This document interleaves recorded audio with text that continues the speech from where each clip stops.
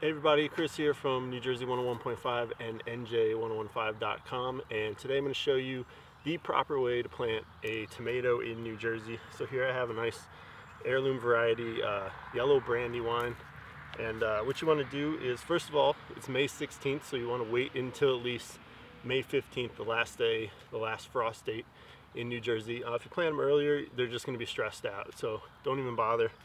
Um, wait till the 15th and then you want to find one that is pretty big because there's a trick to this.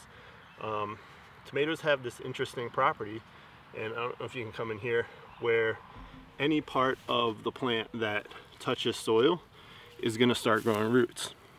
So what you do, and you have to kind of be brave here, is pull all the, the leaves off on the bottom part of the tomato, the stems, and just leave the top set. And then you can come in a little closer here and we'll just show you. You know these roots are all balled up and becoming root bound. So just pull the bottom of that spread them apart a little bit. And now you're, you're going to encourage it to grow all these big roots. So we dug a nice deep hole and we're going to try to plant all of that down. So all this is going to become become roots. A cool thing to do to help the tomatoes is to save some of your eggshells. And what you're gonna do is just break up the eggshells into the hole. So about a half an egg or an egg per hole. Just real quick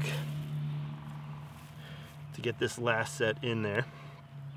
And it's okay if they kind of break up or whatever um, because the plant will kind of take its time to grow but then once those new roots establish it's just going to spread out so far in the soil you're going to get so much more nutrients and you're gonna get so many more tomatoes and they're just gonna be that much better, bigger, tastier. So go ahead, push that soil back in. Don't be, don't be scared to push down.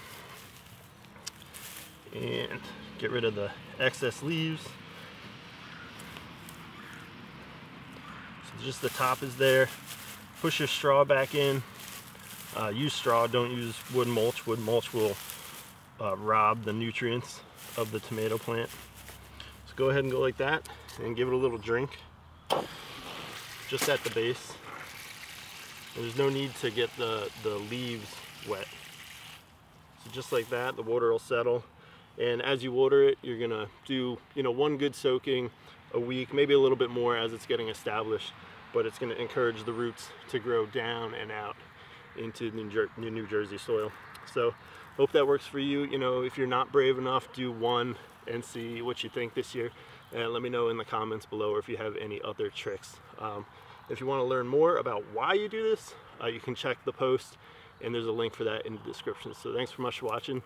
And I'm Chris from New Jersey 101.5. Happy gardening.